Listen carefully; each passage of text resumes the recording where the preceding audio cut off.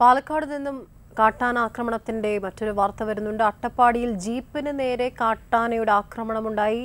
ചിണ്ടക്കിയിലാണ് ഓടിക്കൊണ്ടിരുന്ന ജീപ്പ് കാട്ടാന കീഴ്മേ കീഴ്മേൽ മറിച്ചിട്ടത്. ഡ്രൈവർ ചന്ദ്രൻ നിസ്സാര പരിക്കുകളോടെ രക്ഷപ്പെട്ടു. അതിനിടെ വെള്ളമാരി ഊരിന് സമീപം രാത്രി കാട്ടാന ഇറങ്ങിയെന്ന വിവരങ്ങളുമുണ്ട്. പ്രിയ ഇളവള്ളി മഠം ചേരുന്നുണ്ട്. പ്രിയ വിവരങ്ങൾ. ചിണ്ടക്കിയിൽ ഇന്നലെ രാത്രി പത്ത് മണിക്കാണ് ഈ സംഭവം ഉണ്ടായത്. ജീപ്പുമായി വരികയായിരുന്നു. വളവിലായതുകൊണ്ട് വണ്ടിയുടെ സ്പീഡ് കൂട്ടി രക്ഷപ്പെടാൻ പറ്റിയില്ല. പെട്ടെന്ന് കാട്ടാന വന്നതും ആന സൈഡിൽ നിന്ന് വന്ന് കുത്തുകയായിരുന്നു.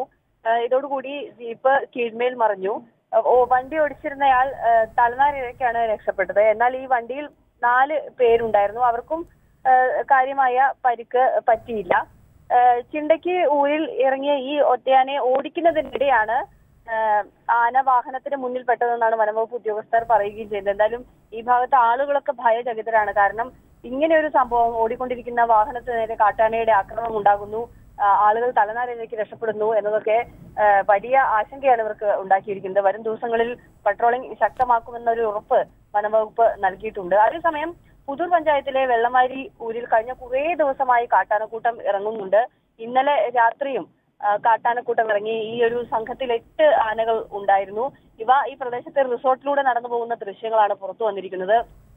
കഴിഞ്ഞ ദിവസമൊക്കെ ഊരിലെത്തിയ ഈ കാട്ടാനക്കൂട്ടം വ്യാപകമായ കൃഷി നശിപ്പിച്ചിരുന്നു. ആളുകൾ കൂട്ടത്തോടെ ബഹളം വെച്ചും പടക്കം പൊട്ടിച്ചും ഒക്കെയാണ് ഈ കാട്ടാനക്കൂട്ടത്തെ പുഴ കടത്തി കാട് കയറി കാട് കയറ്റി വിടാറുള്ളത്. ശരി പ്രിയ.